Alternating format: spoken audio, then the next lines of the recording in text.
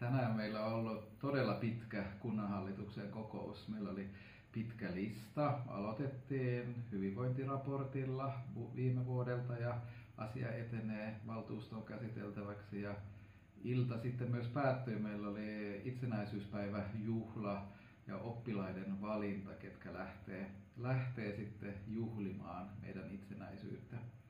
Mutta kokouksen pisin asia oli, oli Marielundin tulevaisuus ja meidän lausunto hyvinvointialueelle.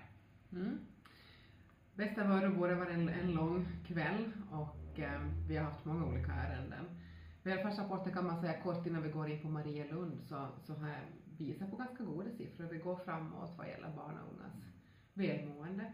Samtidigt har vi också röda varningslampor när det kommer till till exempel vi har mycket att göra, gör framåt ännu men vi visar, vi visar ändå en positiv riktning.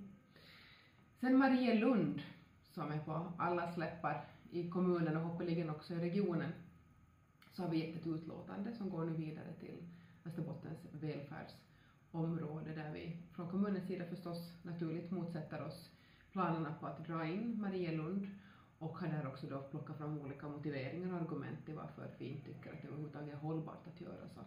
Delvis handlar det om att vi inte tror att det sparar något överhuvudtaget. Vi vet att det finns sparplaner och vi är fullt medvetna om att det har en svår sits från Västerbottens välfärdsområde. Det är ingen, liksom, ingen tvekan om den saken.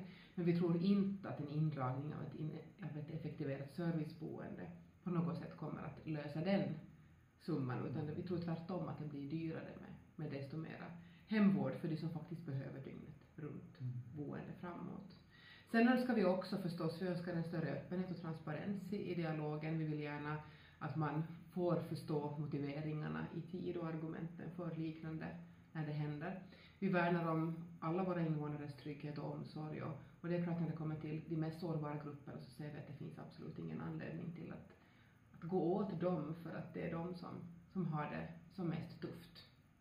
Och vi har allt fler äldre i vår kommun också. Och, så ser det ut i de flesta andra kommuner i Österbotten också.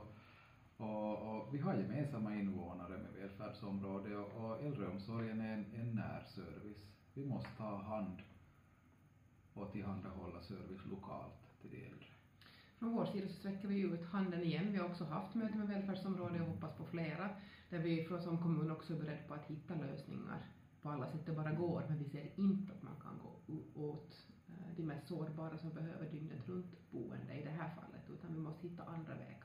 Och det gör vi jättegärna tillsammans i välfärdsområdet, bara vi också får den möjligheten att vara med och, och fundera och planera tillsammans. Så det är kanske det stora hela vårt utlåtande som vi hoppas att tas på allvar och politiskt också tas på, på allvar att man läser det som kommunen har, har gett vidare som utlåtande. Med det så, så svarar vi gärna på frågor om, som finns kring kvällens ärenden och förstås också Marielund och så hoppas vi på att vi får ett gott bemötande i den frågan och att det ska gå väl framåt. Så med det här får vi önska en fortsatt trevlig mm. kväll och höstvecka. Mm. Tack för ikväll. Tack.